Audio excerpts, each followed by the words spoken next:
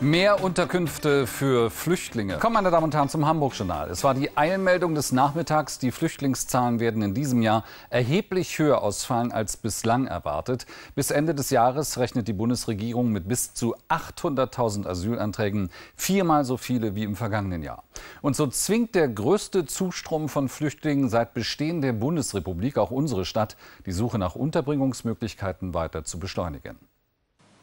In diesem Matsch sollten heute bereits 22 Bundeswehrzelte stehen und Flüchtlinge in diesen Tagen unterkommen. Doch der Aufbau ist für die gesamte Woche abgesagt. Die Bundeswehrzelte hätten hier keinen Halt gefunden. Der Boden des Concordia-Stadions durchweicht durch vier Tage Regenwetter. Eine Firma soll nun den Platz aufschütten. Diese Pläne des Senats sind vorerst ins Wasser gefallen. Das viele Wasser von oben sorgt auch im Zeltdorf in Jenfeld für Sorgen. 700 Flüchtlinge leben auf der Wiese.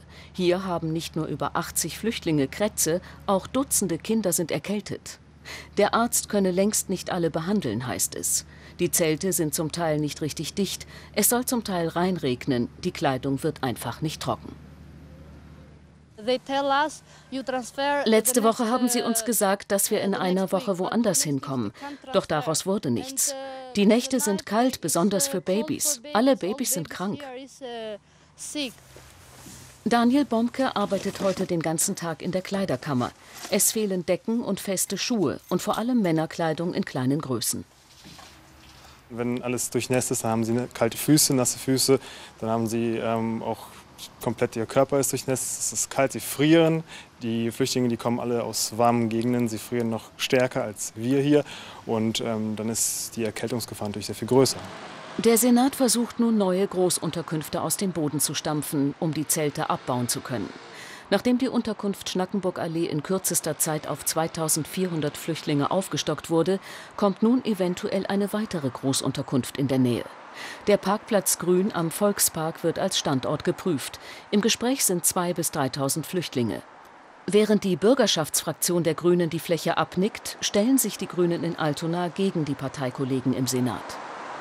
Es muss dringend daran gearbeitet werden, die Unterkünfte zu verkleinern. Auch wenn der Senat sagt, große Unterkünfte sind kein Problem. Sicherlich, verwaltungstechnisch ist es einfacher, größer größere Einheiten zu bearbeiten. Aber für die Menschen in den Stadtteilen und für die Flüchtlinge selbst sind kleinere Einrichtungen absolut von Vorteil. Grundsätzlich sind solche großen Einheiten natürlich hochproblematisch und ähm, eigentlich haben wir immer dafür plädiert, kleine Einheiten zu schaffen. Andererseits, die Not ist einfach da und insofern wird man auch hier ähm, in, die, in den sauren Apfel beißen müssen.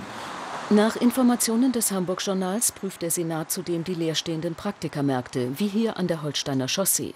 Ein Abkauf der Flächen sei denkbar. Ein festes Dach über dem Kopf und keine nassen Füße bleiben das oberste Ziel.